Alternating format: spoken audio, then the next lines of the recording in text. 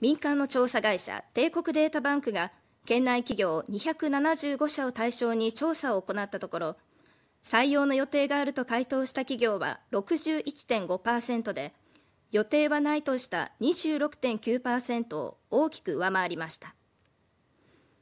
企業規模別で見ると大企業の9割以上が予定があるとした一方中小企業は6割弱にとどまったということです。また採用に意欲を示した企業を業種別に見ると運輸・倉庫業が最も高く次に建設業とともに時間外労働時間が制限される2024年問題に取り組む業界が上位を占めています。これに対し採用の予定がないと回答した企業は小売業が45.8%で最も多く続いてサービス業卸売業となっています。こうした傾向を踏まえ調査会社は今年度の県内企業の雇用動向について去年並みの採用が予定されていると見ています。